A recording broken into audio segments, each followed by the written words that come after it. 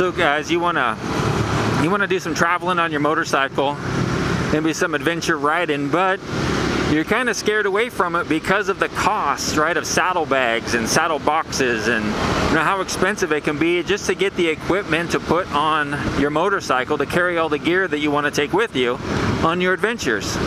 Well, right here in front of me is the solution to your problem, right? You just build it yourself.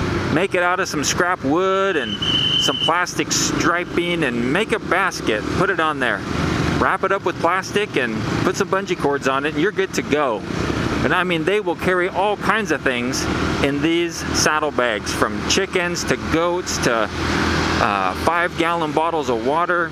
You could carry your camping gear and everything in a simple saddlebag system like this. This is a DYI saddlebag system. So let's just try to see what this guy's got.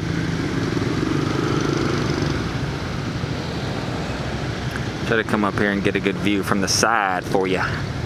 He's got some rain gear. He scooted up there nice. Ooh, he's got vegetables in there. I saw that. Well, sorry I couldn't get a better view for you. It's, uh, it's a lot of traffic. All right, guys, so that's the moto vlog for today.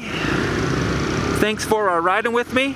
And uh, if you've got some good videos on DIY saddlebags, I would uh, like to see those links posted in the comments below so that uh, we can compare some of the other different, maybe more practical DIY saddlebag systems that are out there on YouTube. All right, this is Riding Java.